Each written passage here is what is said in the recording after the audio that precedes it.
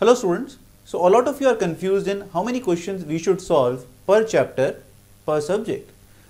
And this is something which is very confusing. First of all, if you are targeting JEE mains, then you should make sure that you should be solving relevant material.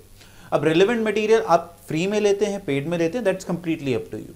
But if I have to pinpoint my suggestion, 40 to 50 to 60 questions per chapter, anything between 40 to 60 is a good number provided the number of days you have.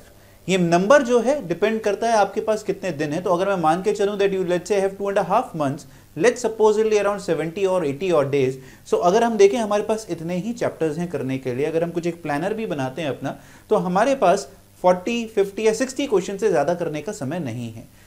Where this these question should be done from now that is where relevant material comes becomes very very important कि आपको पता होना चाहिए JEE mains के लिए important है भी या नहीं। दूसरा हमें क्या ट्राई करना है कि जो 50 या 60 प्रॉब्लम हमें सॉल्व करने हैं, अगर आपको नहीं समझ में आता है, सर मुझे तो पता नहीं चलता है कहाँ से करना है तो आप प्रीवियस ईयर क्वेश्चंस पे स्ट्रेस करें। प्रीवियस ईयर क्वेश्चंस भी अगर आप चैप्टर वाइज करना शुरू कर देंगे they are already more than 50 problems per chapter this will give you a good idea कि किस तरीके के क्वेश्चंस बन सकते हैं, जिसके ऊपर मुझे स्ट्रेस करना चाहिए।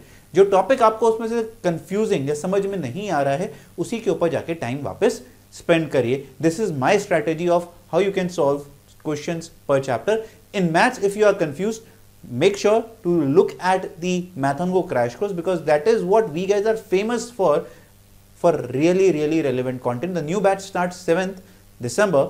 Please go out, check the link in the description box to know more. God bless. Bye bye.